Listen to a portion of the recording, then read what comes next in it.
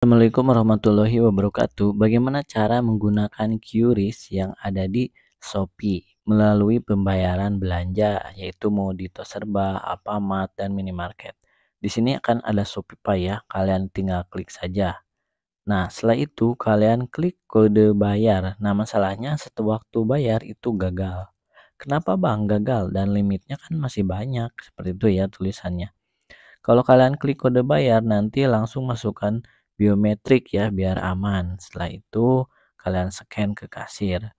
Nah, di sini ada tulisan saldo Shopee kan 25.000. Nah, di sini saya mau menggunakan pembayaran menggunakan Shopee Pay atau menggunakan Shopee Pay Later apakah bisa ya teman-teman di minimarket ataupun supermarket? Jawabannya bisa ya.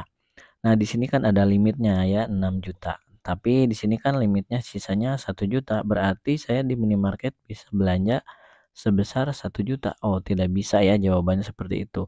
Jadi limit kredit yang belanja di Alfamart itu biasanya langsung limit cicilan satu bulan. Nah, makanya di sini teman-teman langsung klik jumlah kredit. Klik sekali. Nah, nanti muncul seperti ini.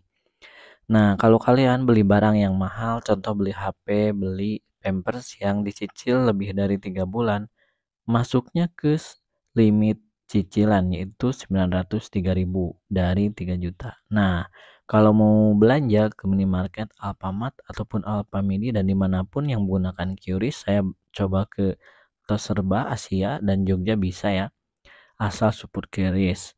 Nah, di sini adalah total belanja yang menggunakan di minimarket swalayan itu limitnya yaitu 427.000. Kenapa Bang dipisah? Nah, dipisah karena keterangannya seperti ini. Limit cicilan adalah limit yang dicicil selama tiga bulan. Kalau limit kredit yaitu limit yang dikredit atau langsung dicicil selama satu bulan. Contohnya belanja makanan, produk, minuman, dan lain-lain di minimarket. Makanya nanti limitnya masuknya ke sini yaitu sebesar 427. Nah, nanti kalau kalian uh, selalu gagal membayar QRIS menggunakan Shopee Pay Letter, nah cek saldo yang ini ya, bila ini nol berarti tidak bisa. Seperti itu teman-teman ya. Kalau ditotalin jumlah limitnya emang besar itu satu juta tiga ratus teman-teman ya, tapi limit ini dibagi dua yaitu limit kredit dan limit cicilan seperti itu ya. Nah, itulah jawabannya mengapa saya scan QRIS selalu gagal di minimarket ya kalian buka aplikasi Shopee, klik saya, langsung di sini ada Shopee Pay, langsung kalian klik. Nah, kalau nggak mau menggunakan Shopee Pay, kalian klik kode bayar ya, langsung masukkan biometrik. Nah, langsung kalian centang nih limit yang ada di sini.